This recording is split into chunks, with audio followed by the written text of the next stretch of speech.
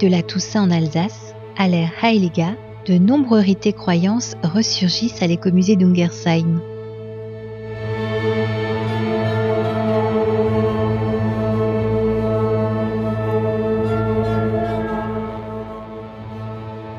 Les Alsaciens ont un répertoire fourni de légendes et de traditions, l'un des plus riches de France.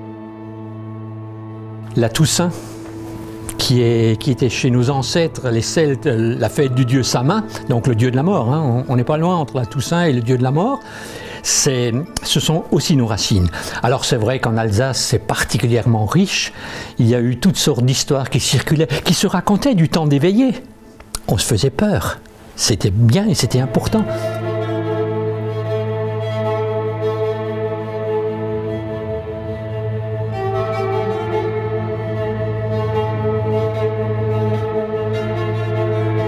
Ces coutumes, c'est d'abord nos racines, et je dirais même en ce qui me concerne mes propres racines, parce que tout ce que je vois ici, tout ce que je fais ici, je l'ai vécu euh, en réel du temps de ma jeunesse, c'est-à-dire assez longtemps quand même.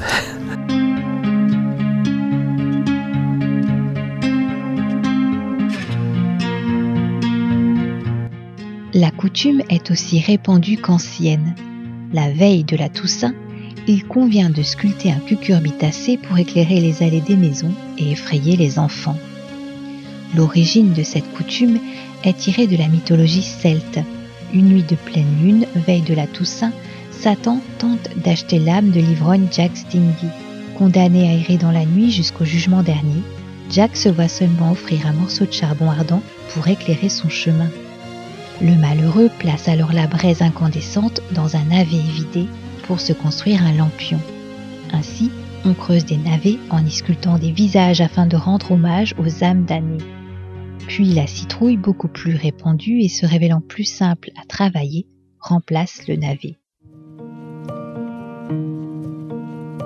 Le potiron permet de créer ces visages grimaçants et en cuisine, en cette période automnale, il permet de se rassembler autour de sa fameuse soupe.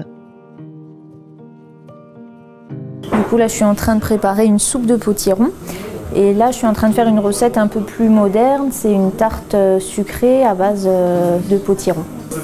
Alors là on a fait, alors c'est ma collègue qui a fait du pain, euh, elle a fabriqué du pain. Hmm. Donc là elle a mis une petite ficelle autour pour lui donner une forme de potiron.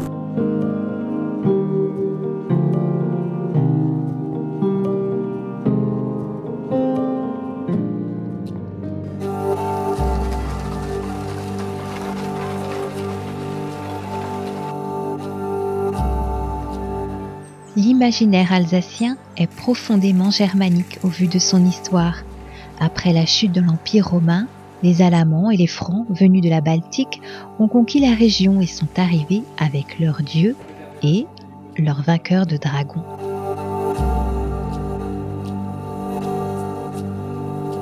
Le dragon, il a été très présent en Alsace à travers les récits, les légendes, les contes qu'on pouvait euh, transmettre. Il l'est encore euh, dans le vocabulaire, dans les noms de lieux parfois, hein, Drakenbronn, Drakenfeld, euh, Drakenlock. Le dragon peut être maléfique comme bienfaiteur, à l'image de la légende du dragon de Riedheim, où on lui attribue le rôle de Robin des Bois. Il dérobait la graine aux plus riches pour remplir les greniers des plus pauvres. Il imiterait même son grain de sel dans le domaine viticole. Alors la, jolie légende de Turkheim, elle a donné son nom au sang du dragon, le vin, le pinot noir qui est fabriqué euh, à Turkheim. Euh, parce qu'un dragon se serait fait sécher au soleil, simplement sur cette colline du Brandt. Et euh, bah, en se laissant sécher, euh, ses écailles ont fondu, son sang s'est mis à bouillir et s'est répandu dans la terre. donc là, c'est à, sa, mort, à sa destruction qu'on doit maintenant ce vin, ce vin de feu que, que l'on peut déguster à Turkheim sur la colline du Brandt. L'homme, parfois en proie à l'inquiétude, a besoin de désigner le dragon pour expliquer les situations les plus mystérieuses. à l'étang du devin de la Poutroie, euh, un ogre, un géant, pardon, un géant a voulu euh, combattre ce dragon qui vivait dans l'étang du devin. Et euh, il l'a guetté à la sortie de son, de son antre et il a voulu l'assommer avec une grosse cognée. Et en fait, il, a raté son coup, donc au lieu de taper sur la tête du dragon, il a créé cette faille dans la roche qui bordait l'étang. Donc là, on expliquait euh, comment s'était formé l'environnement du, lac, donc en partie donc, euh, à cause de ce dragon. Le dragon influence son environnement, mais aussi les expressions courantes des hommes. Une femme qui avait mauvais caractère, c'était le Husdraga, c'était le dragon domestique, dragon de la maison, euh, le gardien du trésor aussi. Hein. le dragon, c'est un gardien du trésor, donc euh, une femme avare, c'était euh, Galdraka.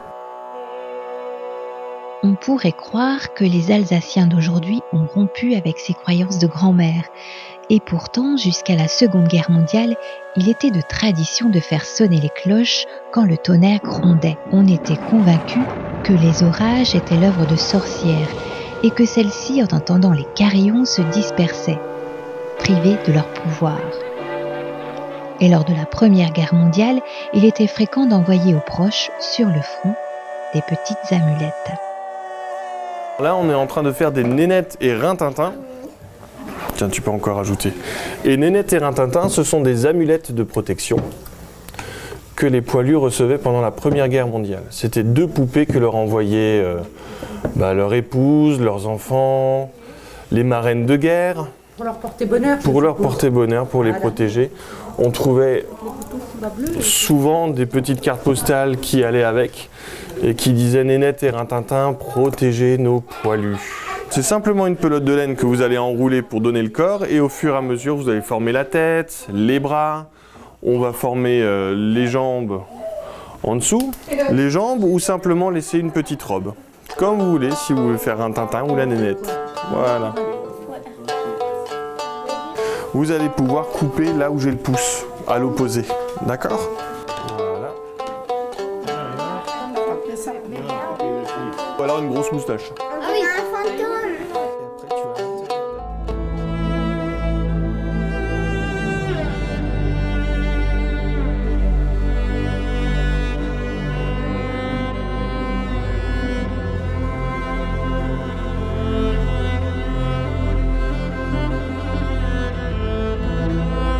Pour déjouer les mauvais sorts, les mauvais mots que le destin met sur la route des hommes, il existe un livre secret originaire du Sungo. Il paraîtrait qu'il serait détenteur de pouvoirs magiques. Globalement, je voudrais rester discret là-dessus. Un, élément de notre culture qui est le fameux livre que certains possèdent Personne n'a le droit de savoir parce que c'est un livre qui est connu comme étant un livre de sorcellerie qui s'appelle le Geistliche Schild, le bouclier spirituel. Ce livre est censé pouvoir donner le pouvoir à ceux qui le possèdent de jeter des sorts ou d'annuler les sorts que jettent les autres. Et ce livre, je l'ai toujours sur moi, surtout en cette période parce que, parce que je redoute moi aussi les sorcières et les maléfices. Ce livre, dont cet exemplaire date de 1747, est un petit livre, le premier livre de poche, rempli de formules. C'est en fait un grimoire, quand même écrit en allemand gothique, donc pas très facile à lire.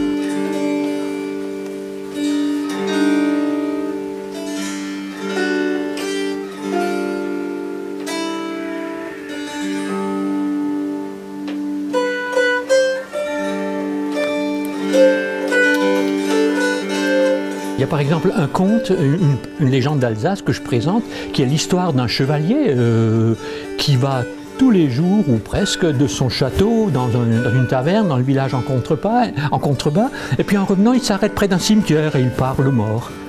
Puis voici qu'un jour, un jour, eh bien, il est agressé par des bandits à l'entrée du cimetière. Et c'est là que les morts, ses amis, sortent des tombes et le sauvent. Voilà, par exemple, une histoire, bon, c'est un peu, plus long quand je la raconte, mais voilà une, histoire où on parle de, de ces morts qui peuvent revenir, de cette proximité, la nuit du 31 octobre, entre le monde des trépassés et le monde des vivants.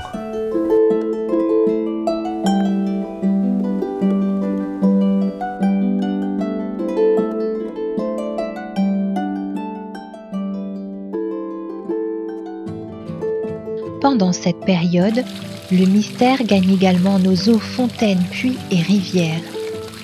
L'eau, indispensable aux cultures et à la vie, objet d'émerveillement, mais aussi de multiples croyances et méfiances. Là où il y a l'eau, eh ben, il y a la vie. À chaque fois, hein. euh, on se rend compte que finalement l'eau va, va, servir à pas mal de choses, mais aussi il y a le côté mystique. L'eau, c'est un miroir également de l'autre côté. C'est-à-dire qu'il y a toujours, même encore aujourd'hui, hein, dans les films et autres, on a l'eau, c'est le passage entre la vie et la mort, ou alors on voit son reflet dedans, et donc on a un, autre côté euh, à travers l'eau.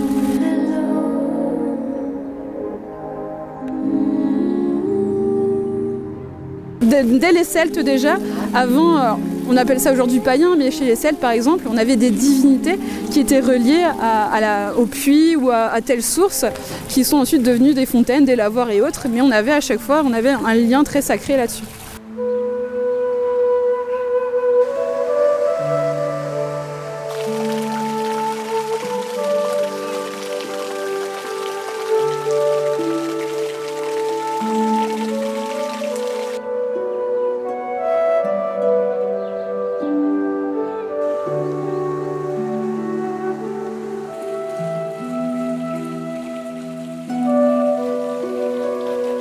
Ainsi, l'eau est source de nombreuses légendes. Parmi elles, connaissez-vous l'origine de la carpe frite? Le comte de Ferrette a refusé que son fils épouse une jeune bergère. Il a mis au défi de préparer, euh, de faire quelque chose d'extraordinaire. Elle a cherché un poisson, elle l'a mis dans de la friture, il lui a donné, il, a adoré ce plat. Son fils a pu se marier avec cette jeune fille et la carpe frite est devenue plat régional du Sungo.